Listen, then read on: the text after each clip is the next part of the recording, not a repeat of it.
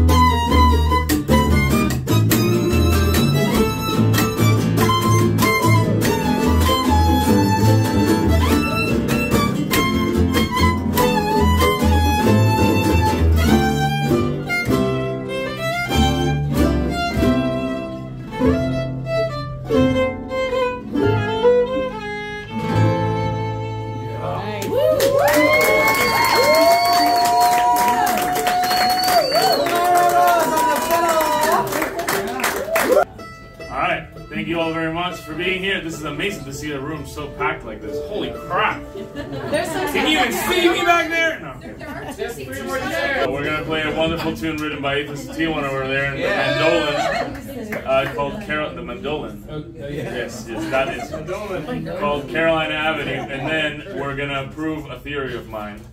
Uh, it's not a theory anymore. I guess it's a reality. But, you that the, the, there's a feel and the sort of you know something the American Old time? something yeah old time Appalachia It's in the something mountains. grass the mountain music.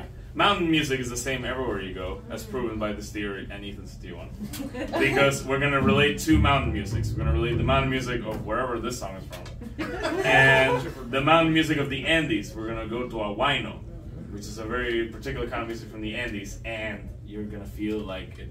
It, it always needed to be there. Mm. We mm. have it, so now it has to re-record it because. Shall we? Mm. Yes, probably.